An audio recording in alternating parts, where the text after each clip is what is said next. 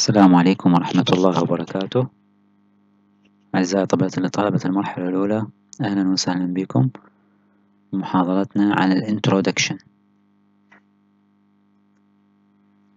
اليوم محاضرتنا من ال introduction راح ناخذ ال basic anatomical structures اللي هي ال skin and fascia بعد ما أخذنا بالمحاضرة الأولى لل introduction أخذنا الاناتوميكال بوزيشن والبيزك anatomical terms اللي هي the terms that is related to position, terms related to movement.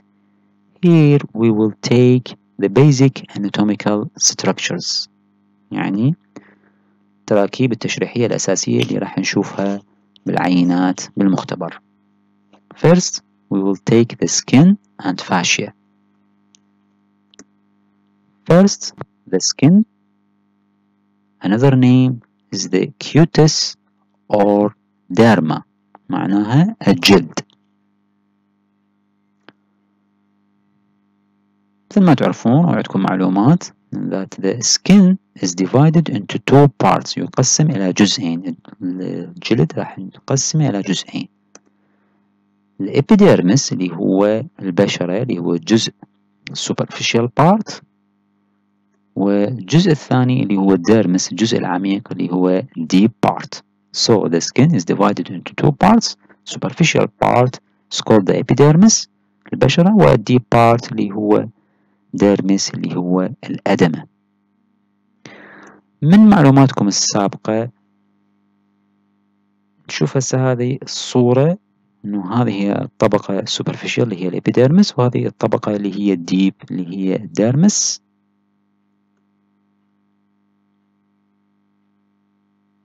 The epidermis consists from stratified squamous epithelium keratinized type. البشرة هي مكونة من نسيج طلائي مطبق حرشفي من النوع المتقرن keratinized type. We can see that the superficial cells are more flat than that of the basal cell. مكون هذه يعني هذا الإبيديرمس مكون من نسيج طلائي اللي هو متعدد الطبقات والحرشفي is squamous أو حرشفي لأنه ال surface cell consists from uh, flattened squamous cell of keratinized type. اعتمادا على thickness يعني according to the thickness of the epidermis اعتمادا على سمك طبقة الابيديرمس راح نقسم السكين into thin skin و thick skin thick skin اللي هو الجلد السميك اللي موجود عندنا بالبالم والsole of the foot in other areas of the body we have what we call the thin skin.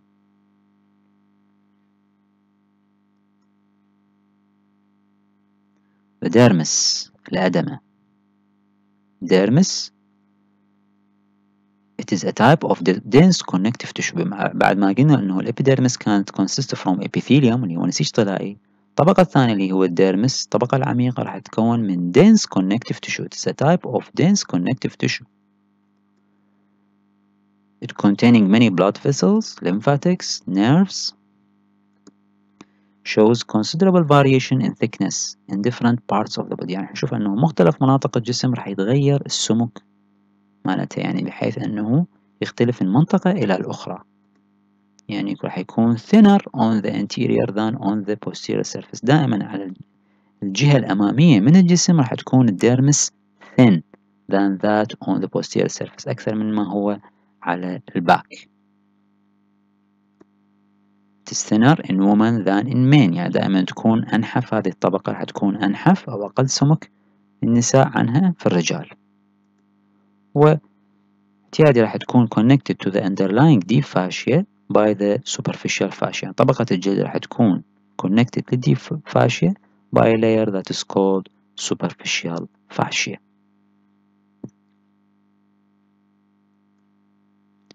من هذه الصورة نشوف أنه this is the deep layer of the skin that, that is called the dermis This is the superficial layer that's called epidermis and this is the deeper layer that is called the dermis. Dermis can be divided into more further part هي the upper layer that is called papillary layer and the lower layer that is called reticular layer and we can see how it is uh, containing blood vessels and nerves different nerves and lymphatics. So it is a vascularized connective tissue.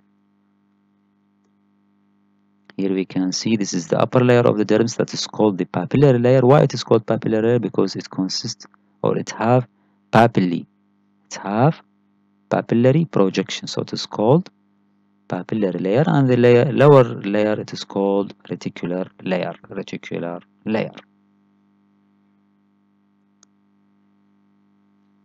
what are the skin appendages? اللي هي شنو؟ راح نسميها ملحقات الجلد. ملحقات الجلد. ملحقات الجلد تشمل عندنا ال nail اللي هي الأظافر hair الشعر sweat glands الغدد العرقية وال sebaceous gland اللي هي الغدد الدهنية. كل هاي راح نسميها skin appendages اللي هي ملحقات الجلد. ليش سميناها ملحقات الجلد لأن هي أصلا مشتقة من طبقات الجلد First we will take the nails الأظافر The nails nails are keratinized plates on the dorsal surface of the tip of the fingers and toes يعني صفائح متقرنة موجودة وين؟ على السطح الظهري لنهايات الأصابع أصابع, أصابع القدم وأصابع اليد. بس راح ناخذ شنو الأجزاء اللي هي تتكون من عندها هذه النيل.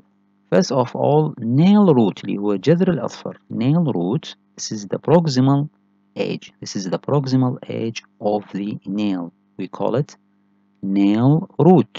يعني بداية الأظفر nail root جذر الأظفر nail fold.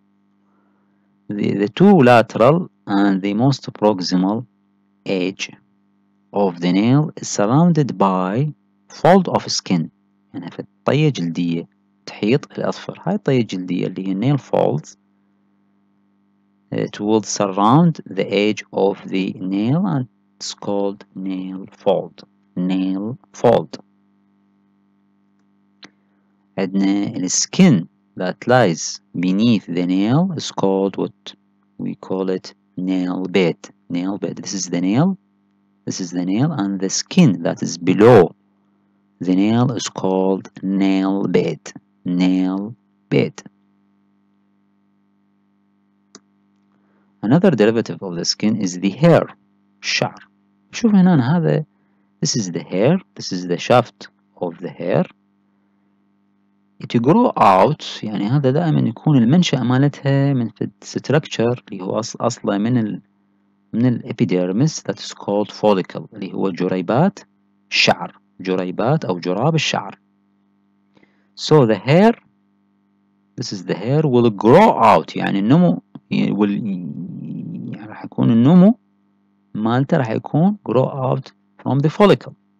بداية من ال follicle هاي ال follicle which, is, uh, which are invaginations of the epidermis into the dermis هذه ال follicle اللي هي جريبات الشعر هي أصلا هي انبعاجات أصلها من ال epidermis انبعاج من ال epidermis so this is the follicle so the hair will grow out of the follicle which are invaginations of the epidermis onto the dermis this is the dermis and this, this is the follicle lies obliquely to the skin يعني راح تكون بشكل مائل ل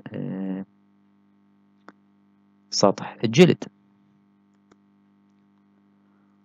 follicle expanded extremity is called the hair bulb راح تكون نهايتها السفلى متضخمة وراح نسميها الهير bulb اللي هي بصيلات الشعر أو بصيلة الشعر expanded extremities of the follicle is called the bulb hair bulb will penetrate هذه راح تكون deep into the dermis penetrate to the deeper part of the dermis here we have at the lower end of the hair bulb we have a concavity this concavity this concavity is filled by a vascularized connective tissue and this is called hair papilla hair papilla this is the lower end or the lower extremity of the hair bulb it have a concavity this is concavity هذه هي الconcavity and it is filled by a vascular connective tissue that is called hair papilla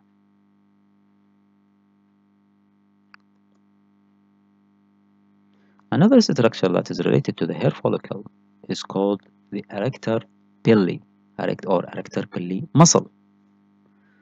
This is the arrector pili muscle هذه هي العضلة. It is a band of smooth muscle connects the follicle to the superficial part of the dermis and it is innervated by sympathetic nerve يعني جهة يعني تجهيز عصبي من الأعصاب السمبثاوية و if it contract إذا صار بها contraction تقلص راح نتوقع أنه if there is a contraction of this muscle it will make the hair shaft to become more in vertical position and its contraction it will causes the hair to move into a more vertical position نفس الوقت this if this muscle contract the erector pili muscle it will compress the sebaceous gland leading to, to that the to this muscle to squeeze its content of sebum on the hair and on the surface of the skin.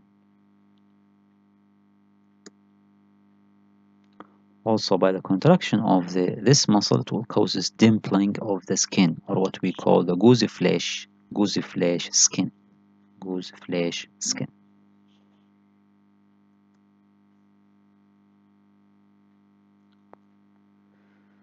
The hair in general is distributed variously over the various part of the body يعني هنا الشعر راح يكون متوزع على جسم, جسم الإنسان يعني بنسب متغيرة but we have certain areas that are hairless hairless areas يعني الأجزاء من جسم الإنسان اللي هي أصلا من لا يوجد بها شعر ما موجود بها شعر أصلا hairless area from these areas lips palms of the hands sides of the fingers glans penis and clitoris labia minora the internal surface of the labia majora soles and the sides of the feet and the toes. All these areas are hairless. It means they are devoid of hair.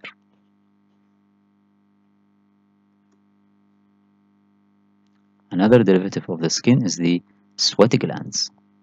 الغدد العرقية. Sweaty gland, from this picture we can see it's long spiral tubular exocrine glands يعني غدة ذات إفراز خارجي ليس منها exocrine أو غدة ذات إفراز خارجي لأنه إفرازها راح يكون إلى سطح الجسم وليس إلى الدم It is distributed over the surface of the body except يعني راح تكون موجودة على سطح الجسم أغلب مناطق سطح الجسم عدا مناطق معينة. ما راح تكون موجودة بها الغدد العرقية اللي هي red margins of the lips nail beds glans penis and clitoris.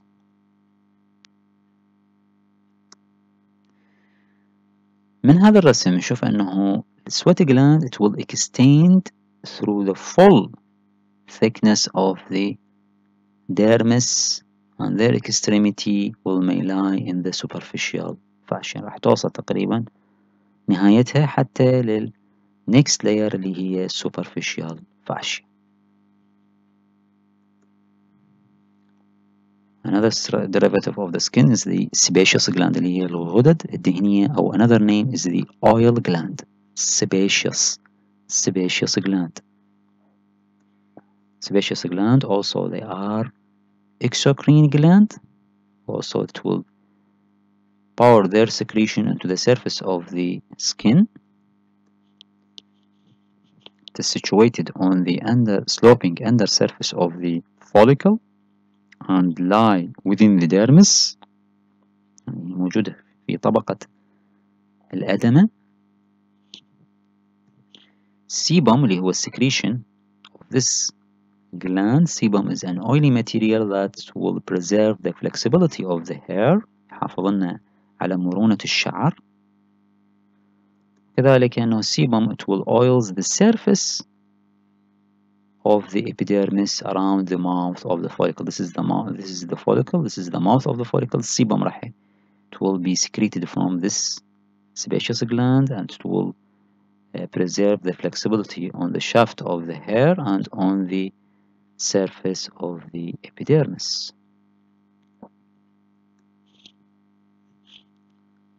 Now we reach the next layer that is below the skin which is the fascia.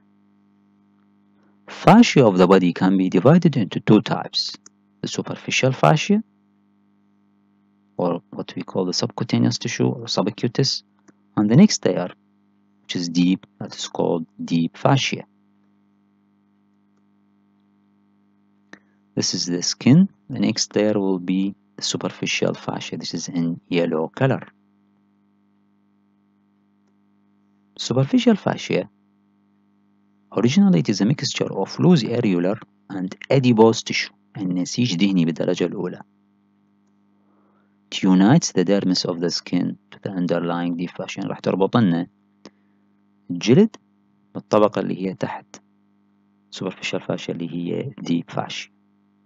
This is the superficial fascia and to connect the dermis of the skin to the underlying deep fascia. In certain areas راح نشوف شنو الاختلافات يعني مناطق معينة من الجسم مثلا it contains numerous bundles of collagen fiber يعني العديد من كمية كبيرة من الألياف الكولاجين هاي راح تكون وظيفتها it will hold the skin firmly to the deeper structures where in the scalp فروة الرأس back of the neck مؤخرة العنق وال palms of the hands and soles of the feet في هذه المناطق اللي هي السكالب back of the neck palms of the hand soles of the feet راح تكون superficial fascia موجود بها numerous bundles of collagen fiber its function is to hold the skin firmly to the deeper structures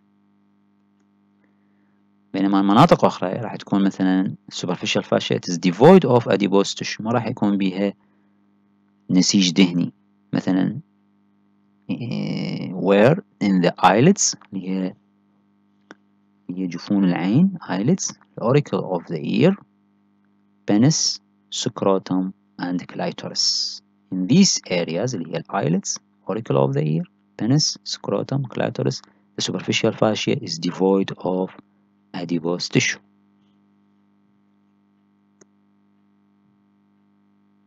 The deep fascia. Deep fascia. This is a membranous layer of connective tissue. Membranous layer of connective tissue that invests يعني تغلف the muscles and the other deep structures. راح نشوف هنا ان عندنا هاي العضلات. شنو هو اللي يغلف العضلات؟ هو membranous layer of connective tissue that is called deep fascia. Another structure اللي هي nerves والarteries والveins. Also it is enclosed or invests by the deep fascia. Deep fascia of the limbs it will forms a definite sheath around the muscle and other structures يعني راح تسوي نفة sheath يحيط بهذه مجموعات العضلات و structures that supplying these muscle. It will hold the structures in place يعني راح يثبت لنا هذه الأعضاء في مكانها محدد.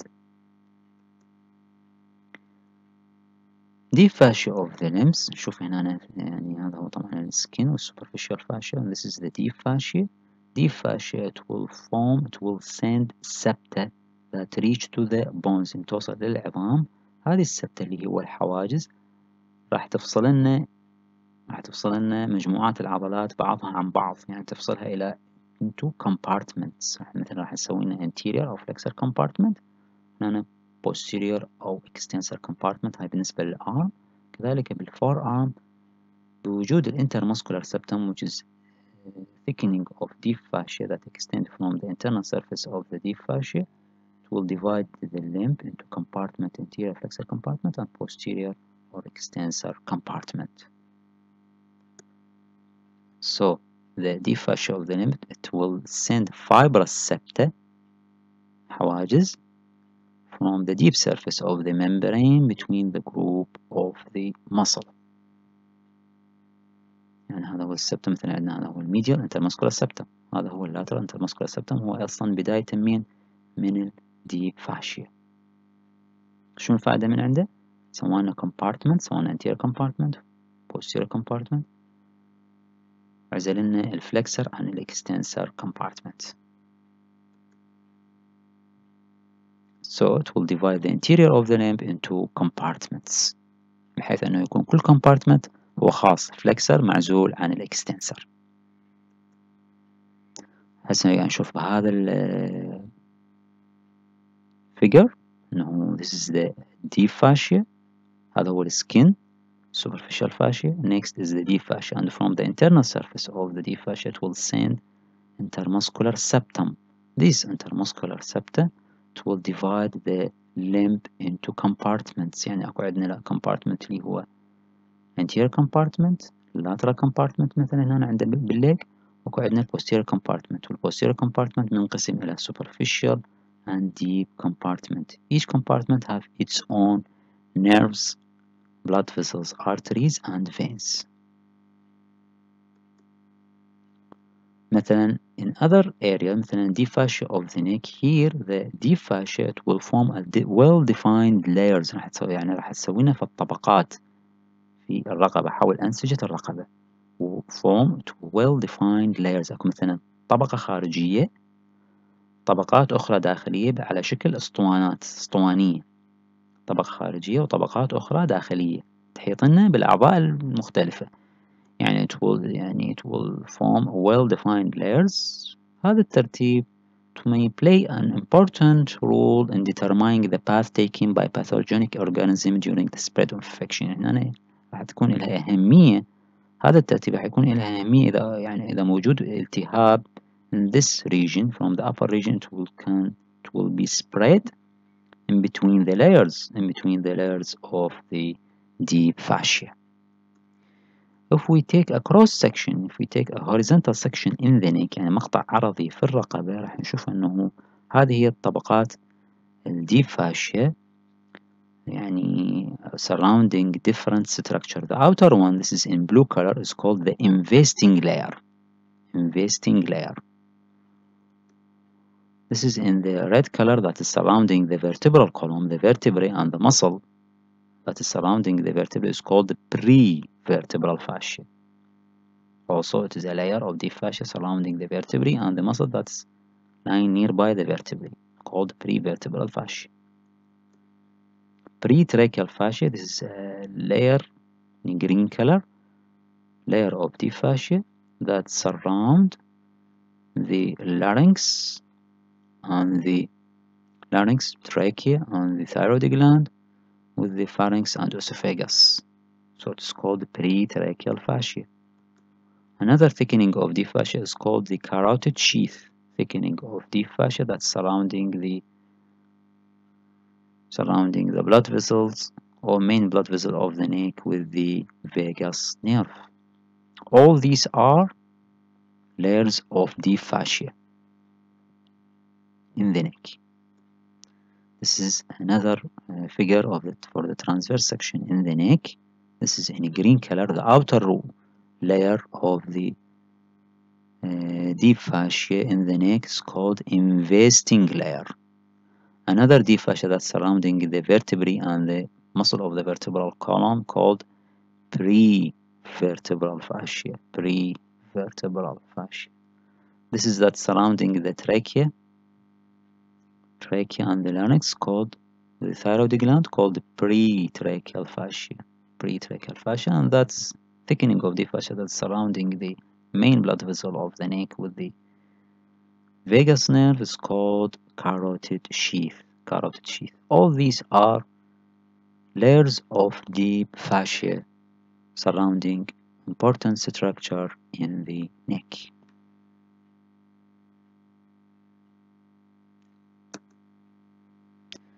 Deep fascia here near the joints near the joints here we can see this this is the wrist joint اللي هو مفصل الرسغ we can see these tendons قاعد نشوف هذه الأوتار العضلات اللي قاعد that can pass from the forearm to the hand يعني اللي قاعد تعبر عندنا من ال forearm للهاند these tendons it should be held in position يعني لازم يعني أكو عندنا فد structure that hold these tendon in position يعني بحيث أنه يمسكها بمكانها this uh, structure is called extensor reticulum extensor reticulum معناها القيد in the region of the joints deep fascia it will form a thickening that's restraining bands restraining bands called reticulum معناها القيد هذا القيد من اسمه القيد it will hold the tendon in position and prevent the tendon from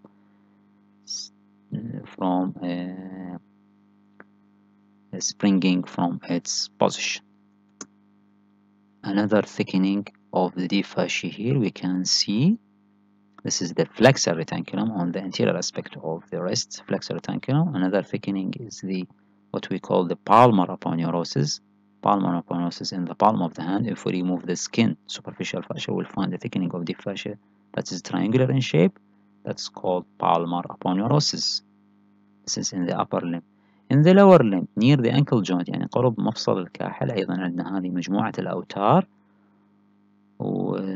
we need to fix them in position يجب أن نكون ثابتة بمكاناتها what what is the structure that keep them fixed in their position is the reticulum اللي هو القيد and here we have the extensor reticulum and we have peroneal reticulum and both of them they are a thickening of the fascia near the joints in order to keep the tendon in position and it will form just like a pulley to facilitate the movement of tendon from the forearm to the foot. Thank you.